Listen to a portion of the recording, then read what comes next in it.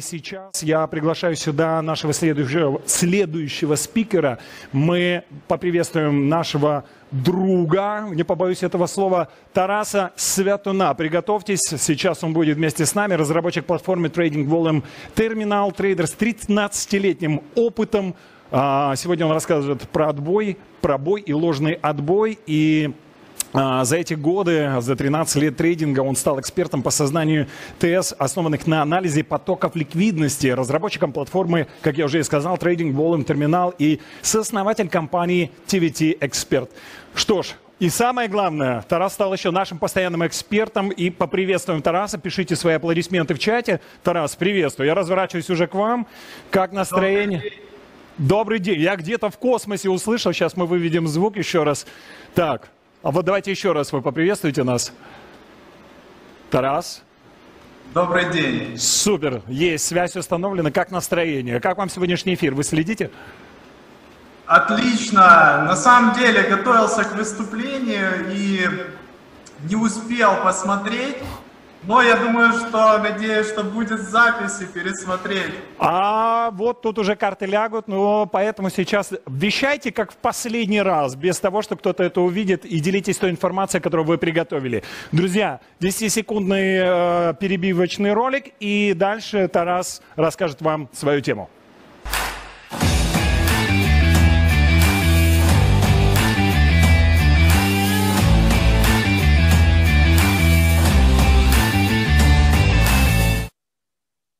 Эфире, прошу, пожалуйста.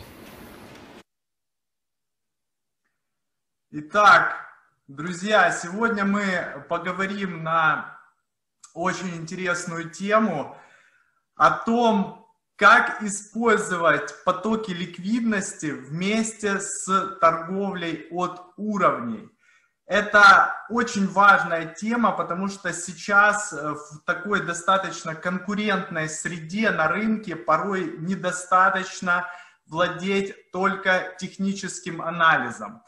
И мы сегодня поговорим о том, как использовать останавливающие HFT объемы для точек входа при отработке уровней. Также как использовать кумулятивную дельту по количеству тиков при работе с уровнями. Кроме того, э, мы увидим э, контратаки, которые позволяют нам при остановке цены уже зайти с лучшим соотношением риск-прибыль.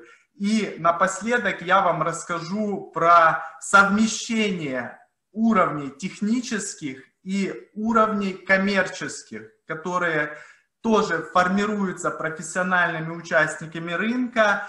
Это уровни сот отчетов.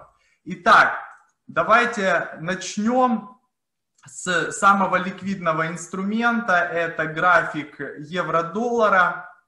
Вот вы видите, на графике я буду отмечать, где идут касания уровней и где уже э, стоит начинать смотреть за тем, чтобы принимать решения. Итак, вот мы видим уровень, который на отметке 1.2179. И это достаточно сильный уровень. Мы уровни рисуем э, слева направо. Соответственно, первая коррекция после импульса. Затем идет э, подтверждение, ложный пробой этого уровня с, достаточно сильной и э, большой тенью. Затем мы смотрим, как этот уровень снова отрабатывается касанием. И потом ложный сложный пробой. То есть уровень достаточно сильный, потому мы следим и ждем. Это дневной график, когда цена начнет опять возвращаться к этому уровню. И вот она, вот эта точка. Здесь э, цена уже подходит, и мы должны увидеть реакцию и зайти на откате. Реакция, как вы видите, на этот уровень последовала, но отката вовсе нет. То есть часто такое происходит, что когда мы ставим лимитный ордер, рассчитывая на то, что цена не добьет уровень, немного возврат произойдет, и мы зайдем в свою сделку. Но часто, когда присутствует сильный покупатель или сильный продавец, мы не можем этого сделать. То есть наш ордер остается неисполненным. Потому мы ждем информацию от, со стороны э, потока ордеров. И, э, соответственно, переходим на более мелкий таймфрейм. Я, к примеру, торгую на 15-минутном графике, но для вас это может быть и часовой, и пятиминутный, к которому вы уже привыкли. И здесь 16.02 мы сейчас найдем э, подтверждение, которое мы могли использовать в этой ситуации. Итак, вот эта э, область, то есть мы видим реакция достаточно мощная на уровень. И если мы в этой области будем ставить лимитный ордер, конечно же, он не исполнится. Вообще по классике жанра, когда мы дождались закрытия свечи, то есть реакцию на уровень, потом на следующий день мы ставим лимитный ордер, который э, мы ждем, чтобы исполнился. Очень часто все происходит в течение этого же дня, либо же на следующий день, но цена не возвращается к этому уровню. Итак, есть э, такой инструмент, который называется дельта по количеству тиков. Здесь у меня на графике это отмечается синими барами, то есть это свечная дельта, зеленые, красные это по объему, а дельта которая синяя, это по количеству тиков. И здесь очень хорошо видно, что э, было удержание какое-то лимитными покупками, то есть и в эти лимитные покупки, то есть актив немного снизился, здесь уже присутствует ли, лимитный покупатель, и мы видим, как э, они уже удовлетворяются по рынку большим количеством ордеров. На самом деле э, это большое количество продаж происходит э, в достаточно некомфортном месте. И это обозначает о том, что такой объем не может, такое количество сделок не может быть сгенерировано большим количеством трейдеров. То есть есть большая разница, когда много сделок, они генерируются э, толпой, и когда это алготрейдеры, то есть когда крупные фонды по благоприятным ценам в нужный момент включают свои алгоритмические системы и, э, соответственно, они уже начинают набор э, лонговых или шортовых позиций. И здесь это хорошо видно, то есть цена немножечко откатывает э, к уровню, который уже сформирован на 15-минутном графике. Это уровень, с которого произошел перехай, и цена его тестирует. Кроме того, что для нас э, самое актуальное, это то, что образовывается контратака так называемая. То есть э, мы это будем видеть э, с помощью тоже дельты по количеству тиков. Здесь есть тень свечи. То есть получается, что как бы здесь уже покупатели заходили, коррекционная, видно, такая формация. То есть произошла коррекция, а потом на продолжение тенденции. Но это загасили профессиональные алготрейдеры, и потому на дельте по количеству тиков образовалась вот такая тень. Тень свечи. Вот. И цена осталась под уровнем. Затем тоже э, произошел откат, немножечко попытка еще восстановления, и мы уже снова заходим под уровень объема, который уже сформирован максимальным профилем объема за текущий день. То есть э, вот когда мы смотрим уже более мелкий таймфрейм, для того, чтобы войти в позицию, нам необходимо какие-то э, дополнительные подтверждающие факторы со стороны крупных участников рынка. Когда мы их уже получаем, в более мелком таймфрейме, соответственно, мы можем зайти в сделку, поставить стоп за локальный уровень, либо же за э, локальную, за локальный дисбаланс, который возникает, и потом уже следить, где появится следующий дисбаланс, и частично начинать фиксировать свои сделки, когда происходит э, э, какой-то всплеск объемов и частично уже фиксировать по целям. Я использую как для входа, так и для выхода HFT объемы. Это индикатор, который в платформе нашей Trading Volume Terminal, он дает понимание, в каком месте произошли крупные цепочки тиков. То есть вот э, это такие у нас э, кружочки, треугольнички на графиках. Мы более детально сейчас э, на примерах тоже поговорим, что это обозначает. Но суть в том, что они нам дают информацию о том, что в этих местах за достаточно короткий промежуток времени прошли крупные объемы. Если здесь посмотреть на графике евро, то первый всплеск э, произошел 100% э, сделок по бит, то есть на продажу. И вот есть расшифровка, сколько контрактов за какой период времени. То есть за 104 миллисекунды прошло 590 контрактов, цепочка тиков следующая 411, 115, 36, 29. То есть, э, когда у нас происходит э, так, такое усилие на продажу, и оно не продолжается тенденция, то есть э, оно принимается крупным лимитным игроком, в этот момент мы можем принимать решение об частичной ликвидации позиции, либо о точке входа, если это сопоставляется с какими-то дополнительными уровнями. Если тут, например, был уровень, можно было бы зайти в позицию но уровень ниже, соответственно, мы ждем, чтобы совместить физику и математику рынка.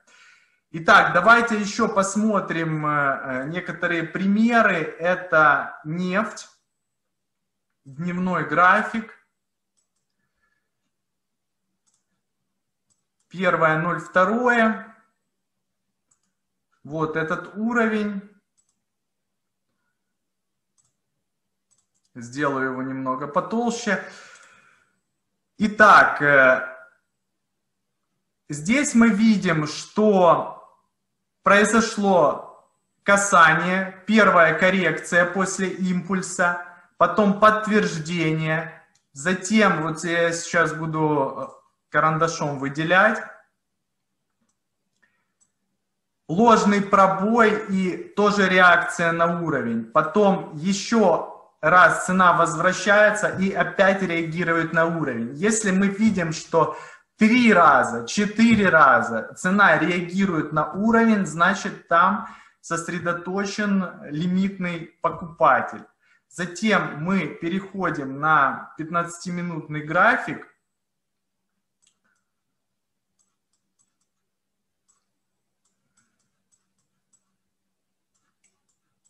И будем эту ситуацию уже рассматривать более локально. Сейчас перенесем этот уровень на 15-минутный график. И вот э, в этой свече, да, 31.01, соответственно, мы уже смотрим, э, что происходит э, на локальном таймфрейме. Мы получаем первую контратаку, по дельте по количеству тиков. Что это значит? Вообще это произошло ночью, но на свече, которая импульсная, которая пробивает уровень, мы видим какие-то алгоритмические покупки. То есть на рынке в принципе ничего просто так не происходит. На таких свечах и дельта по объему, и дельта по количеству тиков должна смотреть вниз. Если мы смотрим, что дельта по объему вниз, а дельта по количеству наверх, значит присутствует профессиональный спрос. Нужно различать профессиональный и непрофессиональный. Как мы знаем, для того, чтобы зайти в сделку, зачастую, если это э, не какая-то ловля ножей, мы ждем остановку и появление зеленой свечи, то есть в нашу сторону. Здесь же получается, что э, большое количество покупок произошло прямо на открытие на падающей свече. Это не просто так, естественно, происходит, это профессиональный спрос, но нам, конечно же, нужно подтверждение. Во-первых, ночью мы бы никак не зашли, для нас это предварительная информация. Потом мы уже в течение дня смотрим, что дальше происходит с ценой. Цена начинает формировать новый уровень уже на более коротком таймфрейме. Здесь произошел реакция, произошла, здесь подтверждение, потом недобой небольшой, тоже подтверждение свеча с длинным хвостом. То есть три точки для нас уже есть. И вот четвертая точка это недобой и потом ложный пробой данного уровня. Итак, смотрим, что же происходит здесь с количественной дельтой.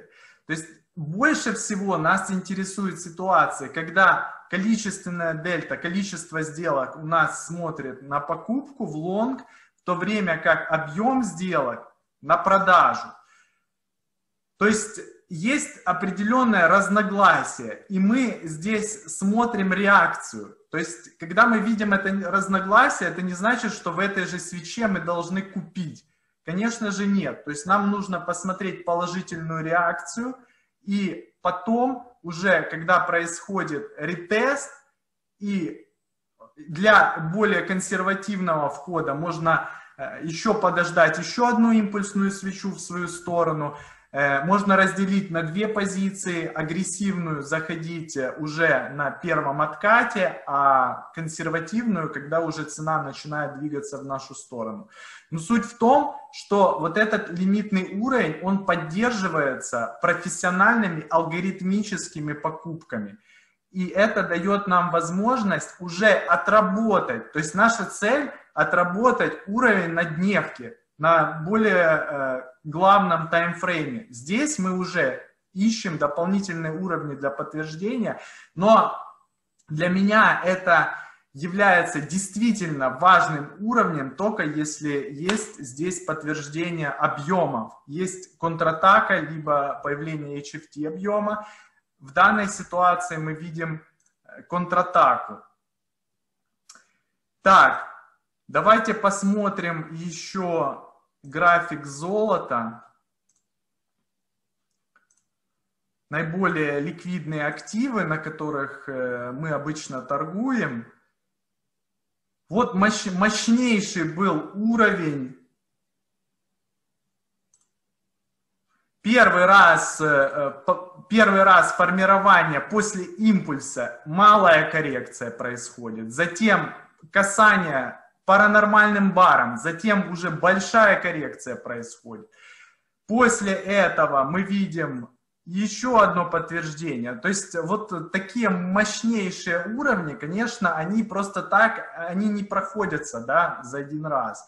Потом, когда идет возврат к этим уровням, уже на 15 минутке можно искать точки входа, э, где можно и стоп поставить, и за счет того, что на более крупном таймфрейме участники ждут более сильных движений, мы можем на 15-минутном взять небольшое движение. Так вот, вот эта свеча паранормальное тоже подходит к данному уровню и происходит реакция на него. Вот в этой точке. Сильнейший уровень с пятью подтверждениями, цена возвращается, идет реакция, мы переходим на 15-минутный график и смотрим, что там происходит. Так, это 8.01 у нас. Давайте сейчас и на 15-минутный таймфрейм переведем данный уровень. Так, здесь э, вот этот день, вот этот день, очень много объемов прошло. Но что самое интересное? Это, опять же таки, количественная дельта. Это вот эти предварительные еще покупки. Предварительные покупки в этом месте, на вот этой свече, вот здесь, вот тут тоже происходят. То есть явно видно, что идет профессиональный спрос. Здесь, в таких ситуациях, ну вот представьте, вот эту свечу вы бы покупали здесь, конечно, говорить о том, э, что э, кто-то из толпы покупает, это нерационально, потому что таких ситуациях э, нужно подождать, все ждут остановки какой-то и свечи в свою сторону. Но покупки, вот эти агрессивные, они происходят прямо на свечах красных, прямо на падающих свечах, и причем достаточно в большом количестве ордеров, то есть вот тут 400 идет перевес, здесь 318, 230, то есть это преобладание. Есть еще же количество на продажу, есть количество на покупку. То есть это разница между сделками, которые прошли на покупку и на продажу. Вот. И разница в пользу покупок. Затем на следующий день идет э, пробой этого уровня. Цена уже делает э, возврат, ретест. Затем идет, уже действительно видно, что есть реакция на уровень. И вот когда еще раз подходит цена, это уже можно зайти э, наиболее консервативный вариант. Есть понимание, где поставить стоп-лосс, есть понимание, что действительно профессиональный спрос присутствует э, в данном активе. Вот э, если посмотреть на количественную дельту, то она продолжает накапливаться. Она продолжает эти предварительные покупки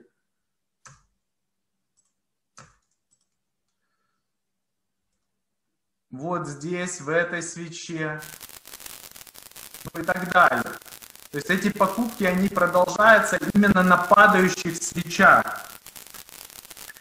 И вот когда цена уже подходит к уровню, то, соответственно, большая вероятность того, что не только э, это произойдет технический отскок, что это действительно есть профессиональный спрос. Затем, э, касательно выхода из позиции, также можно и HFT объемы использовать, э, то есть для частичной фиксации позиций, потому что когда в таких местах э, происходит большое количество крупных сделок, и они об кого-то происходят, да, зачастую об маркетмейкера, и цена останавливается, то высока вероятность, что произойдет коррекция. Потому мы должны это учитывать и диверсифицировать риски и выходить частично из позиций. Вот после вот этого падения тоже произошла коррекция. Тут есть э, тоже уровень на дневке. Повыше чуть, если можно провести. Также уровень. Если тут мы по теням, то здесь можно по телу свечи сейчас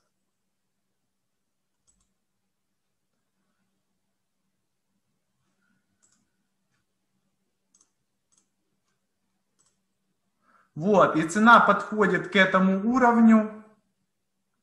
Тоже образовывается контратака по количественной дельте. Вот это контратака. И цена реагирует, цена останавливается. И мы ждем подтверждения. Вот еще одна контратака происходит. Вот. Цена отбивается от уровня, делает ретест и опять начинается восхождение. Тут уже э, не, не такой большой потенциал, но, соответственно, выход из позиции, то есть более 70, даже тут ну, практически вся волна коррекции, которая произошла, мы ее выкупили. А, Вот, далее, тоже на золоте, интересная ситуация была, и тоже связана с этим же уровнем.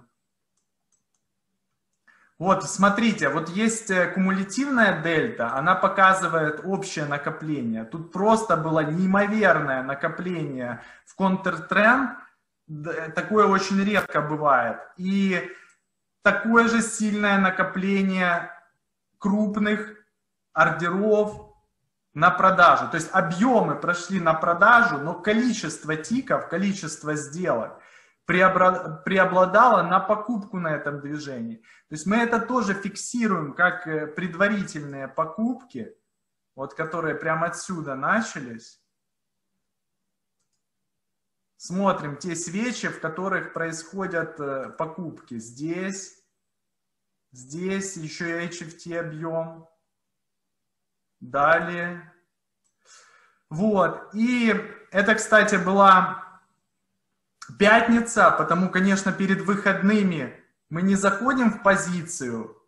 Но вот в понедельник, смотрите, что происходит. Происходит сильнейший пролив, образование HFT объема, то есть со 100%, 100% перевес продавцов, который сразу же выкупается.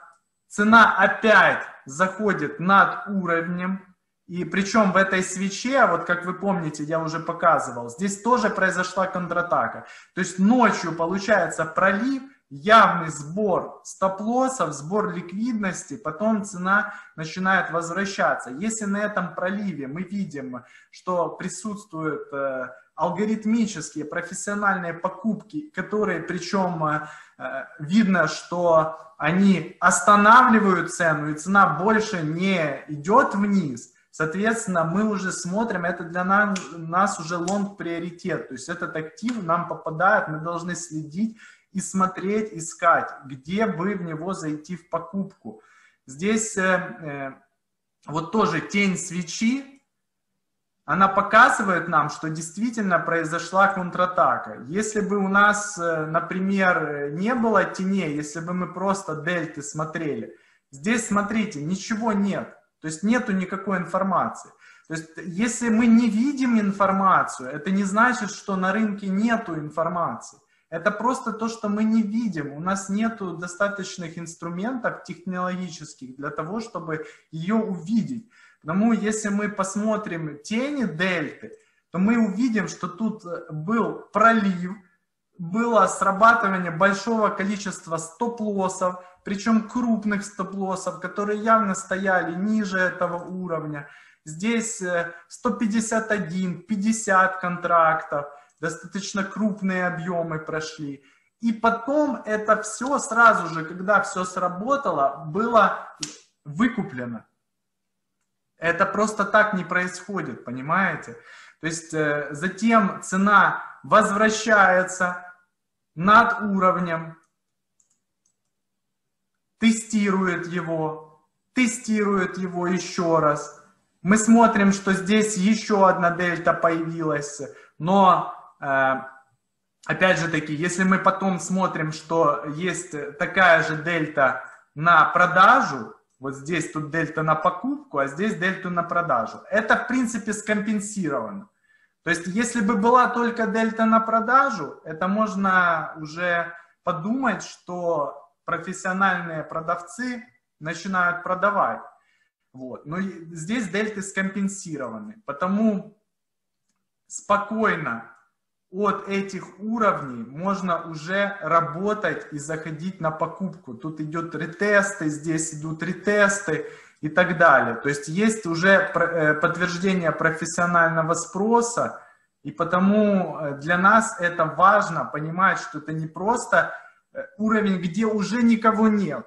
Просто очень часто, да, там цена, тут был уровень, цена возвращается к нему через, не знаю, две недели, там, тут, когда она вернулась так к этому уровню, давайте посмотрим.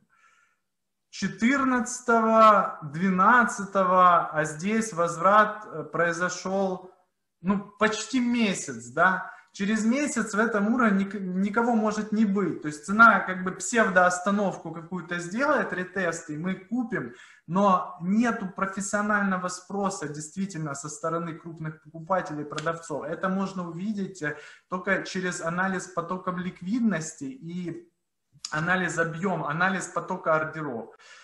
И, э, соответственно, когда мы видим, что есть предварительный спрос, есть э, потом он продолжается, тогда мы уже начинаем э, реагировать и этот уровень отрабатывать. Итак, давайте посмотрим, хочу вам еще показать очень интересную вещь. Это когда контратаки на ложных пробоях возникают. Так, канадец 21.01.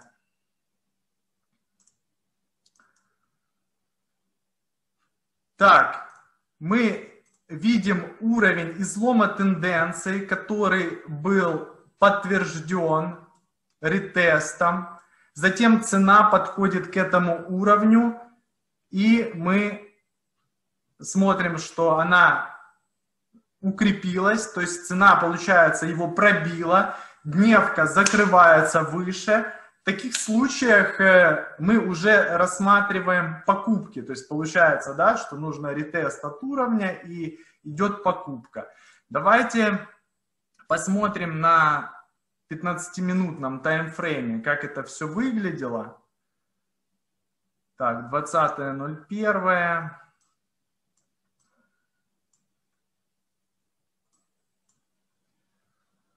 Вот эта ситуация, да, если мы не видим правую часть графика, вот цена пробила, первый откат произошел, потом закрылась дневная свеча выше уровня, потом у нас происходит э, формирование уровня на 15 минутке, да, тут уже касается, то есть как бы цена закрепляется над уровнем, и потом идет импульс. То есть вот эта свеча импульсная, вот эта свеча, она мало того, что здесь покупатели заходят на продолжение, так здесь еще и продавцы, которые от уровня работали, поставили, естественно, стоп-лоссы. И, конечно же, это все исполняется, да, но цена при этом не продвигается. То есть, что мы видим, если э, включим анализ потоков ликвидности? То есть так, в принципе, нам нет, недостаточно еще информации. То есть для того, чтобы зайти в такую сделку, да, мы должны подождать реакцию, чтобы цена закрепилась ниже. Вот. Э, по классике мы, в принципе, должны подождать вообще закрытие дневной свечи, затем э, поставить лимитный ордер вот в этой точке и ждать, что он исполнится. Но очень часто, когда присутствует сильный продавец, цена не доходит до этого ордера. Итак, мы включаем анализ потоков ликвидности. Вот здесь, вы видите, прошли огромные HFT объемы. То есть это высокочастотные сделки, за 0 миллисекунд, то есть в 1 миллисекунду 84, 65, 64, это все разные сделки сагрегированные, большое количество этих сделок, и все, все прошли на покупку. Вот здесь тоже HFT объем. За одну секунду 597 миллисекунд прошел объем 92%, все на покупку. Вот. И затем цена с такими объемами, она должна вылететь, она должна пройти дальше. Ничего подобного не происходит. Происходит остановка и затем реакция, то есть это останавливающий HFT объем классифицируется. Но что самое интересное, тоже, чем больше подтверждений, тем лучше. Смотрите, вот если брать дельту по количеству тиков, то здесь очень хорошо видно, что это контратака.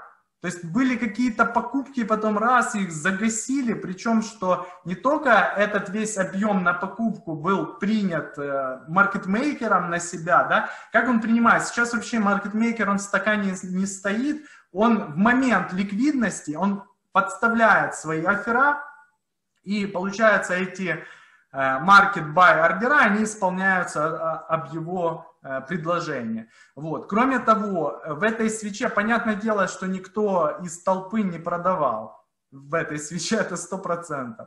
Здесь появляется огромная отрицательная количественная дельта. Очень существенная, очень крупная, и потому это и еще один дополнительный признак того, что Э, включились алготрейдеры из э, различных инвестиционных фондов, которые просто э, загасили это движение. Потом цена идет под вот этот уровень, делает ретест, и можно уже, вот когда пробивается на ретесте, здесь уже ставить лимитный ордер и заходить. Касательно стоп-лосса, то я рекомендую все же ставить его в такой ситуации, когда близко находятся HFT объемы за HFT объемы, потому что это для нас уже какая-то стена из предложения. То есть э, лучше не технически ставить стоп-лосс, а все-таки за объемами. Вот. Таким образом он будет находиться в большей безопасности. Вот. И потом касательно постановки цели, мы, когда входим в сделку, мы должны видеть цель, не только точку входа, а также видеть, э, э, куда мы должны прийти. Это вот этот недельный уровень объема, то есть это максимальный да, объем, который был проторгован за неделю, он является э, первой целью для того, чтобы цена достигла его. Вот. Но, в принципе, также можно использовать коммерческие уровни. Мы сейчас о них поговорим. То есть эти коммерческие уровни, они вообще служат очень хорошим ориентиром для постановки целей, потому что они, в принципе, и притягивают цену, потому что на них происходит э, борьба между фондами и между хеджерами. Вот, потому совмещение, вот э, коммерческий уровень, это вот этот синий уровень у меня. Вот этот синий уровень, а обычные уровни у меня желтым цветом. То есть это у меня уровни, они называются уровни Александра Герчика. Я их даже подписываю. GL1, GL3. В зависимости от э, той классификации, которая установил Александр Михайлович. Кстати, вот у меня есть его книга, рекомендую. Здесь вот это та книга, которая достаточно абсолютно для того, чтобы понимать уровни, которые на рынке работают. То есть и для того, чтобы понимать действия участников, вы должны, соответственно, знать, даже если вы, например, э, торгуете только анализ потоков ликвидности, это вас, вас не снимает э, обязанность знать технические моменты, то есть э, знать уровни, знать основные да, там, волны, ВСА-анализ. То есть чем больше вы знаете, соответственно, тем более совершенно ваша нейросеть с помощью которой вы будете принимать решения. Вот. То есть, э, если вы четко знаете классификацию уровней, вы уже четко можете их совмещать с анализом потоков ликвидности. Если вы не знаете, соответственно, то э, лучше торговать то, что вы точно знаете, точно уверены и точно знаете, что э, оно имеет логическое объяснение. Потому что если нет логического объяснения, то такое нельзя торговать, если вы сами себе не можете объяснить. Вот. Здесь есть абсолютное логическое объяснение, то есть эти коммерческие уровни, их построение, честно скажу, я их сам придумал, и основаны они на сот-отчетах. Но метод построения я непосредственно придумал самостоятельно. То есть как это все происходит? Вот э, э, видите, есть здесь данные коммерческих трейдеров и некоммерческих. То есть фонды это э, некоммерческие трейдеры, коммерческие трейдеры это хеджеры. И произошло изменение позиции на 159%. То есть вот здесь, например, у них было минус 15 700 контрактов, а здесь уже плюс 9270. Вы понимаете, на 24 тысячи контрактов изменилась позиция. Эта позиция на столько контрактов не изменялась, э, я не знаю сколько тут, год или пару лет. То есть такого сильного изменения позиции не происходило. То есть, чтобы вы понимали, это единственная достоверная, абсолютно достоверная информация о том, что происходит на рынке. Это, как говорил Ларри Вильямс, это законная инсайдерская информация. То есть вы видите, что действительно произошли покупки, фонды затарились по полной. И, конечно же, вот эта медиана, э, средняя цена, по которой они затарились, она будет выступать э, э, поддержкой, потому что они будут добирать позицию на, этот, на этом уровне. И, конечно же, мы можем его использовать для э, торговли. Кроме того, вот этот уровень совпадает, практически совпадает с уровнем, который первая коррекция вот э, произошла э, после импульса, затем вот подтверждение очень сильное было к этому уровню, тенью свечи, затем два ложных пробоя, даже, даже три ложных пробоя еще этого уровня здесь, в этой области состоялось. И вот эта свеча с объемом на тени, максимальный объем на тени свечи, вот видите здесь, уже действительно, которая зафиксировалась над уровнем, и является для нас основой для того, чтобы мы уже принимали решение. То есть можно в этот день, можно дождаться следующего дня, то есть это в зависимости, лучше разбивать позицию, в зависимости от консервативности вашей торговли, но в любом случае нужно перейти на 15-минутный э, таймфрейм, 4.02 канадец. Так, сейчас мы посмотрим.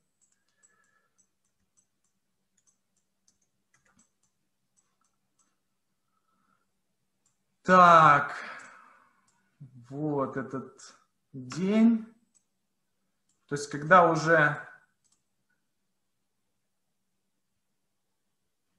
5 числа будем искать точку входа, соответственно. То есть, что нам нужно? Нам нужно подтверждение в моменте, то есть лока локальное, от которого можно уже э, зайти и поставить стоп-лосс. Вот эта свеча, с достаточно сильной контратакой. Вот тень свечи по дельте. И потом еще подтверждение дополнительное. То есть большое количество сделок, опять же таки, в самых некомфортных местах. Вот когда растет количественная дельта в самых некомфортных местах, это именно то, что нам нужно. Это идеальный, в принципе, вариант для того, чтобы э, задуматься и рассматривать эту ситуацию для того, чтобы зайти в сделку. Затем подтверждение HFT объемом на тени свечи. Что значит на тени свечи? То значит, что свеча даже не закрылась э, на своем минимуме. То есть сразу же произошло отторжение минимальных цен. HFT объем 2 секунды 525 миллисекунд – цепочка тиков 56, 54, 25, все 100% на продажу.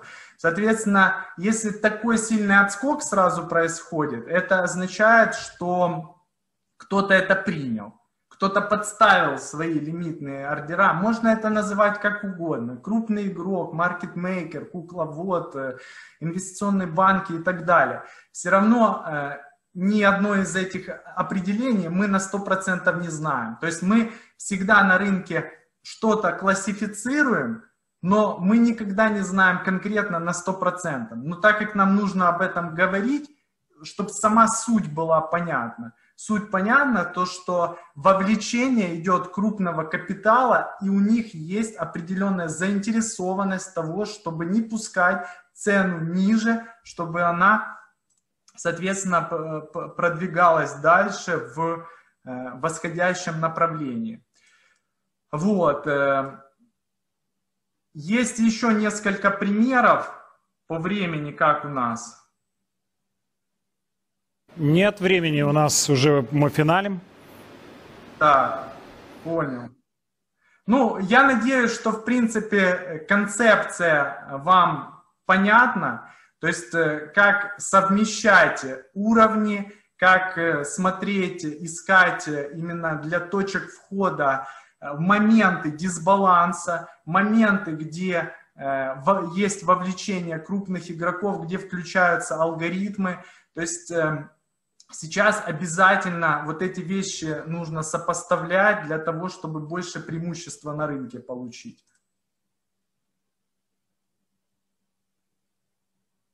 Что ж, мы готовы продолжать. И сейчас я еще раз поблагодарю за, опять-таки, познавательное выступление, за очень четкие ответы. И буквально через маленький рекламный тизер мы возвращаемся и даем ответы на, на, на вопросы наших зрителей.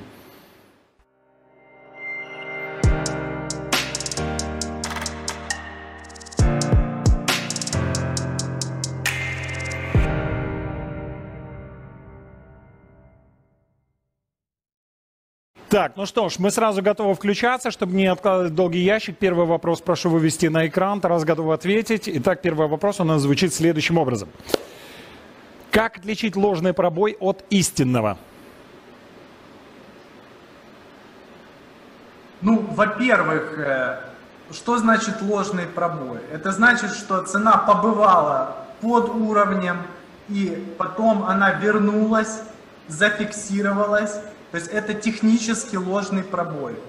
Технический. То есть э, цена закрылась над уровнем, значит, что технически ложный пробой состоялся. Есть сложно ложные пробои, которые могут э, эм, под уровнем цена еще немного проторговалась, но все равно она возвращается над уровнем. То есть это ложный пробой.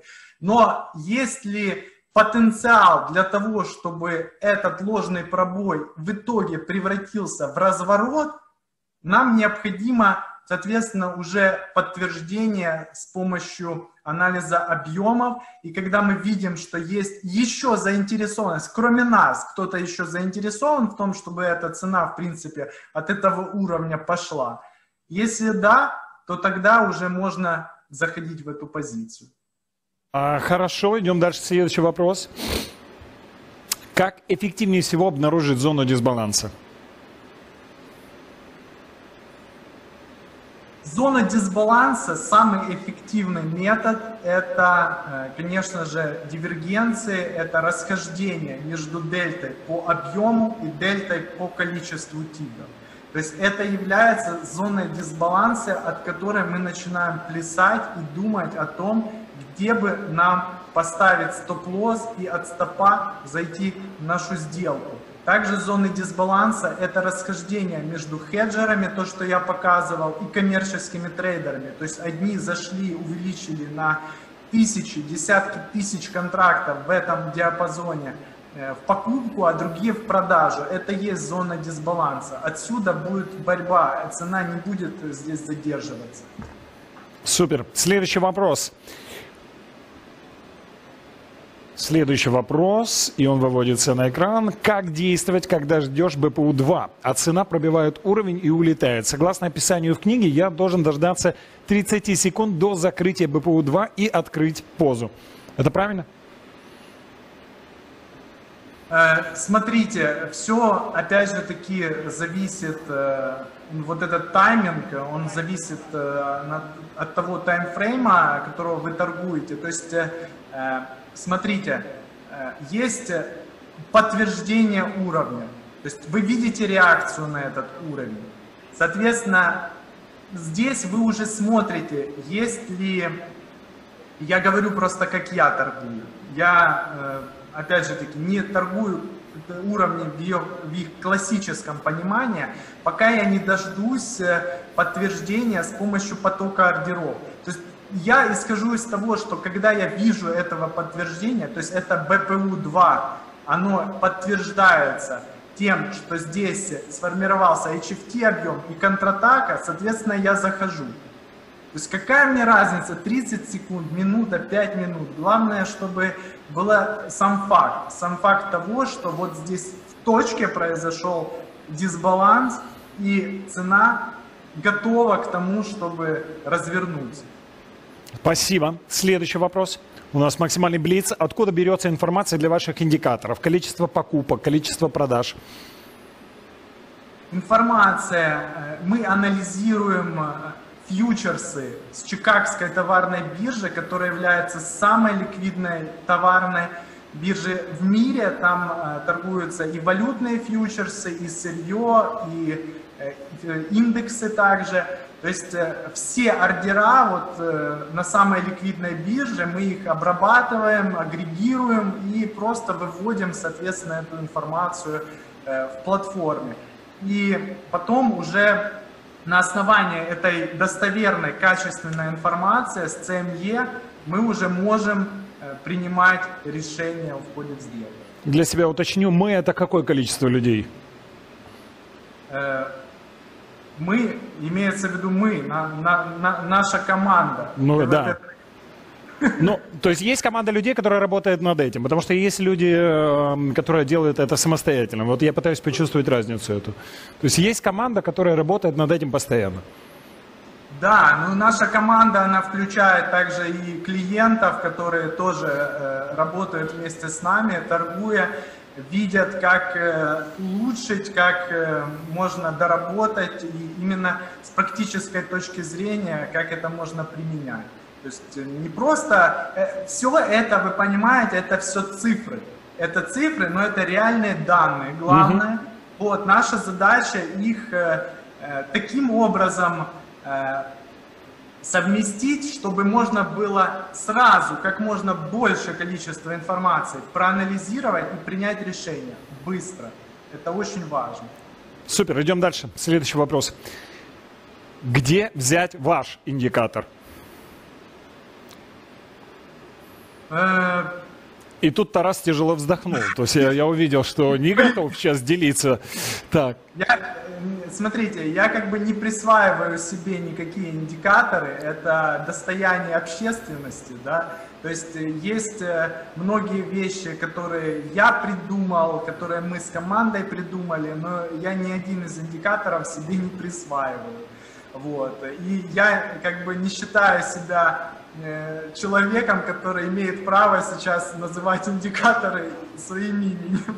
я понял. То есть взять его пока негде, правильно я понимаю?